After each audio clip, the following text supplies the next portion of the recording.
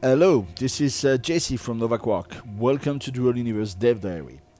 This time we'll have a closer look at the server technology. As you know, Dual Universe is an upcoming sandbox sci-fi MMORPG which is focused on emergent gameplay and building. All this taking place in what we call a continuous single shard, which means that everybody is going to be playing in the same universe at the same time. One big server, no instances, no zones. Uh, together you'll be free to create uh, cities, spaceships, or giant orbital stations, as well as political, territorial, or social structures. Well, as you can imagine, this raises quite challenging technical questions. So let me show you exactly what this is about. This is a debug view of the server, showing the players connected to it as small white dots. You can see that the universe is dynamically partitioned into cubic cells and as the players go closer to each other towards the center, the cells get smaller and smaller to maintain an average maximum number of players per cell and distribute the load. So you can think uh, of each cell as being roughly uh, like a particular machine on the server cluster. Now, um, let's have a look at how it shows inside the game. Uh, here, we have a client connected to the server, and you can see all the players actually gathering to the center.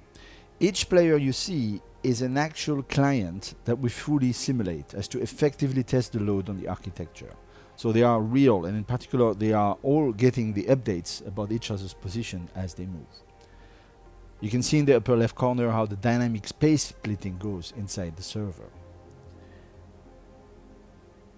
The other important aspect is that the further away a player or an entity is, the less frequently it gets updated.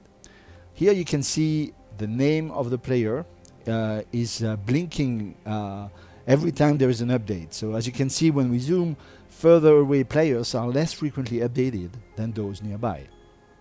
And the loss of update frequency is compensated by interpolation techniques. Now let's see how this looks like in a more realistic game situation. a bit more than uh, 1000 players have been uh, spawned in a few hundred meters wide area and they are moving around.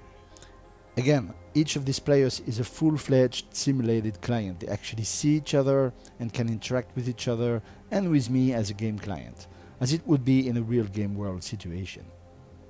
You can see there's a, really a lot of players, maybe on screen perhaps a, a few hundreds. So more virtual clients means more server rented for testing. So we are currently limited in how far we can push this until we have actual players connected. But so far our models run as expected.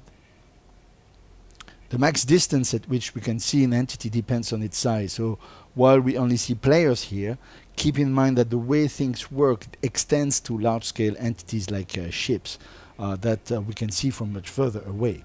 Here again, we dynamically play with frequency to maintain a reasonable load.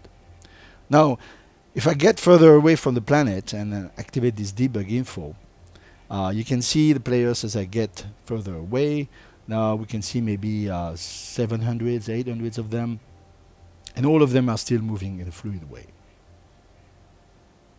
As you can see, we can have a very high density of players in a continuous single shard universe, and this allows us to build a truly massively multiplayer game where large-scale emergent interactions will be able to take place.